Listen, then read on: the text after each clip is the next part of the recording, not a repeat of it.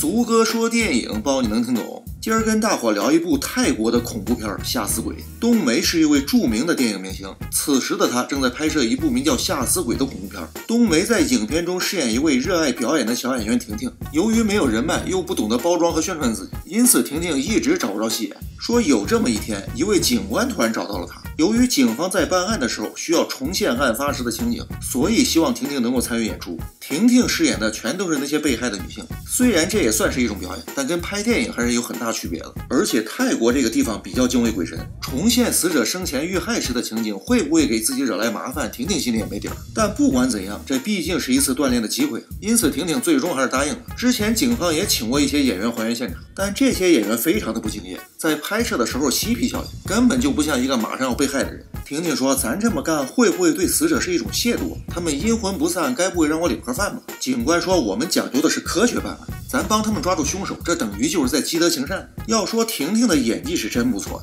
情绪饱满，表情到位，把所有人都看醉了。尤其是被害时的表演，把围观的吃瓜群众看的是群情激愤，上去就把扮演凶手的演员给揍了一顿。由于担心惹上麻烦，表演完之后，婷婷主动去给死者上了香，还原现场的新闻很快就上了报纸了。婷婷也算是小火了一把。由于婷婷出色的表现，没过几天，警官又找到了她，希望她能帮着再还原一次现场。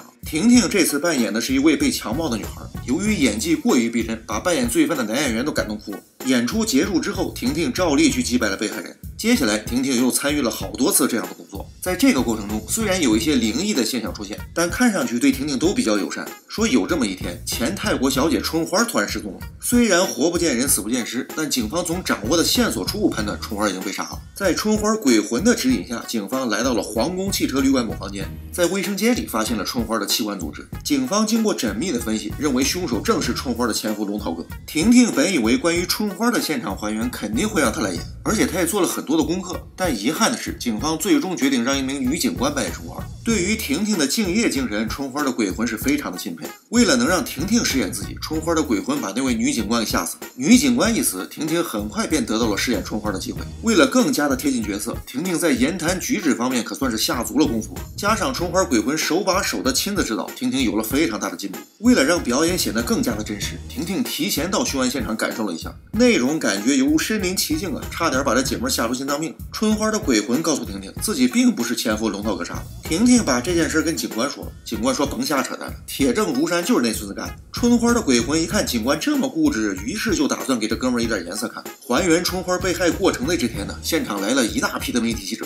当婷婷正在表演的时候，春花的鬼魂再次告诉她，自己不是前夫龙涛哥杀的，并且附在婷婷的身上，跟前夫龙涛哥来了一拥抱。警官虽然逃过了一劫，但春花鬼魂的出现，让这位坚持科学办案的警官的三观彻底凌乱。为了搞清楚真相，婷婷请大师帮忙。在大师发功的过程中，婷婷不由自主地画了一幅画。不过诡异的是，她画的这个女人呢，自己从来都没见过。随后，婷婷又来到了春花家，在春花鬼魂的提示下，婷婷发现了春花的闺蜜冷淡姐。晚上，春花来到冷冷淡姐家摸情况，原来这个冷淡姐是个拉拉，一直深爱着春花。当春花嫁给龙套哥之后，冷淡姐彻底崩溃了，于是便在一个月黑风高的深夜把春花给杀了，然后又嫁祸给了龙套哥。冷淡姐承认自己是凶手之后，便开始追杀婷婷。就在这关键的时候，警官及时赶到，把冷淡姐给毙了。从开始到目前为止，这些情节都是著名女演员冬梅拍摄的那部叫《吓死鬼》的恐怖影片。本来这场戏已经结束了，但这个时候意外发生了，饰演警官的男演员突然在冬梅的脸上看到了恐怖的一幕，这哥们儿一声尖叫，当时就吓尿，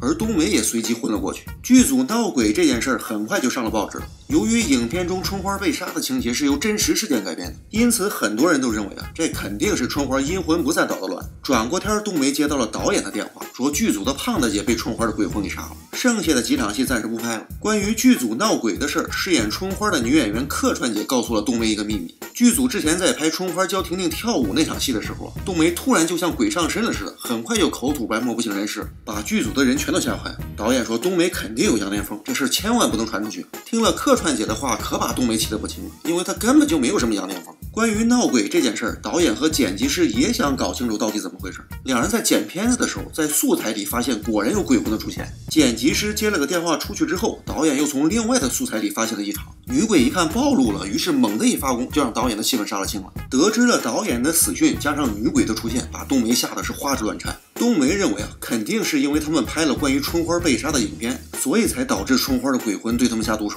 于是他来到春花的墓前，希望春花高抬贵手放他一马。那么这一切到底是不是春花的鬼魂干的呢？其实不是，这些诡异的事件呢，跟春花没有一毛钱的关系。那么这到底是谁干的呢？现在我们必须请出一位之前从没露过脸的角色，那就是心比天高命比纸薄的心机妹。心机妹是一位跳民族舞的演员。由于人脉、天赋、机遇一头都不占，因此他只能在景区为游客们跳跳舞，挣个辛苦钱。心机妹对冬梅这个大明星是既羡慕又嫉妒。为了成为第二个冬梅，她开始不断的整容。但不幸的是，在最后一次整容的时候，她遇到了蒙古大夫毛蛋叔。毛蛋叔由于操作失误，导致心机妹死在了手术台上。为了逃避法律的制裁，毛蛋叔偷偷把心机妹的尸体沉入到了河里。心机妹死了之后是阴魂不散呐。这姐们儿不说去找蒙古大夫毛大叔报仇，而是一门心思想着怎么附在冬梅的身上。为了能达到自己的目的，她把一个能扰乱冬梅心智、帮助她附身的凤冠送到了剧组。吃瓜的冬梅在放道具的屋里瞎学摸的时候，突然就被凤冠控制了意识。